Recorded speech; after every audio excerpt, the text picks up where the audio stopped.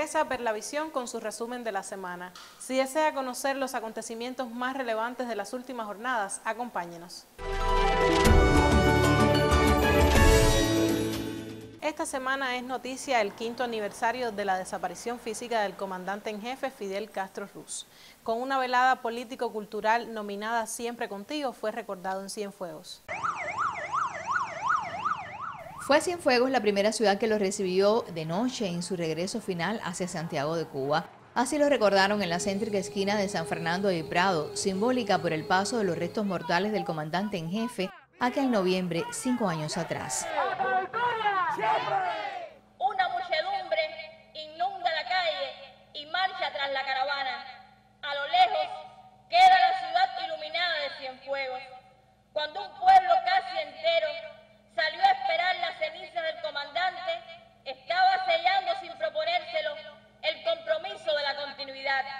De las horas asiagas de la pandemia en la provincia, se recordó en la velada político-cultural por el quinto aniversario del deceso de Fidel para agradecer en nombre del pueblo cienfueguero la entrega de jóvenes formados bajo sus principios, de instituciones de la salud pública, organizaciones políticas y de masas, otros organismos del Estado, quienes sorteando la situación crítica de recursos y medios, no dudaron en dar los suyos y exponer sus propias vidas para salvar las de miles de conciudadanos.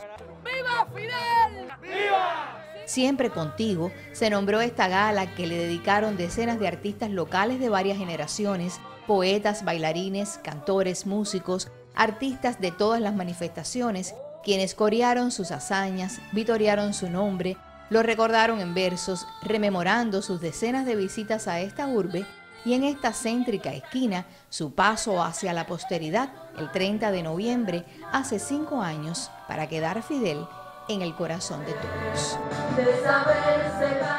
Las modalidades de casa comisionista y venta de oportunidades han incrementado en todo el país con gran aceptación. En Cienfuegos, las unidades que acogen estas variantes ofertan gran variedad de productos saltan a la vista de los curiosos, nuevos espacios con ofertas diferentes a las acostumbradas. Así llegan a Cienfuegos las casas comisionistas, donde se brinda el servicio de gestión de ventas a partir de un convenio en el que las partes acuerdan precios y formas de pago. Yo llegué aquí ayer y no se me encontré sorpresivamente que, una, que la tienda se había destinado también parte del departamento para una, una venta comisionista. Tengo 180 días para vender el producto. En caso de que no se venda la mercancía, tengo que en el tiempo o rebajarlo y si no lo rebajo, recogerlo. De lo contrario, si pasa más de 180 días, ya pasa a ser inventario de la tienda. Hoy actualmente tenemos 47, 47 contratos más o menos, alrededor de 47 contratos. Se parta el precio y mediante ese precio se le descuenta precio de venta un 20%, que un 10% es el aporte para la para el aporte al presupuesto y el otro 10% es la utilidad que tiene la tienda como, como ganancia. Esta modalidad contribuye a ampliar la gama de productos a disposición de la población en el comercio minorista. Asimismo se suma la variante oportunidades. Aquí se comercializan los productos considerados ociosos o de lento movimiento para las empresas, pero que resultan de utilidad para todos. Nosotros podemos hacer nuestras propias gestiones de inventario con el proveedor de forma directa sin violar las normas jurídicas. Entonces, han tenido mucha aceptación. Tenemos ahora accesorios de carro, accesorios de, la construcción y accesorios de, de equipo electrodoméstico para los hogares. La habilitación de estos puntos de ventas es una de las estrategias trazadas por el comercio interior en virtud de satisfacer las demandas del pueblo. Conservar el patrimonio para las actuales y futuras generaciones resulta uno de los propósitos para quienes trabajan en el Museo de Cumanayagua. En un taller realizado en este territorio se puso al descubierto la situación de la arquitectura está dentro de las preocupaciones por el estado de conservación que presenta hoy los inmuebles en la municipalidad. Un estudio previo pone al descubierto la situación actual y las posibles acciones para rescatar un patrimonio rico en historia que tiene Cumanayagua. Es una preocupación que se está viniendo eh, llevando a cabo hace, uno, hace un tiempo sobre cómo se, conservan estos inmuebles. Se está haciendo un estudio preliminar, no una especie de bosquejo sobre toda la información que hay aquí sobre este tema para poder en un futuro realizar, no sé si un catálogo o un estudio general sobre cómo ha ido la evolución arquitectónica histórica en Cumanayagua y cómo se conserva en nuestros días.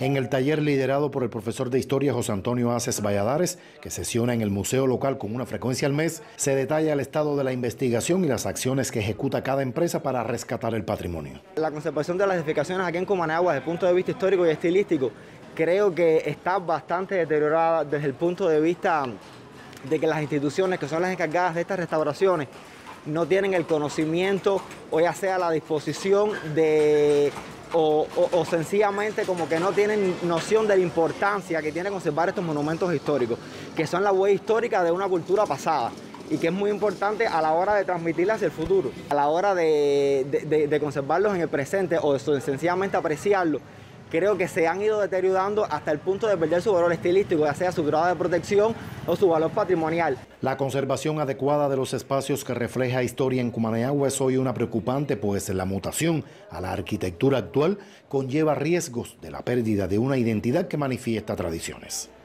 A pesar de las limitaciones impuestas por la COVID-19, cuatro empresas cienfuegueras fueron finalistas para el Premio de la Calidad 2020. Conozca los detalles en el siguiente reporte.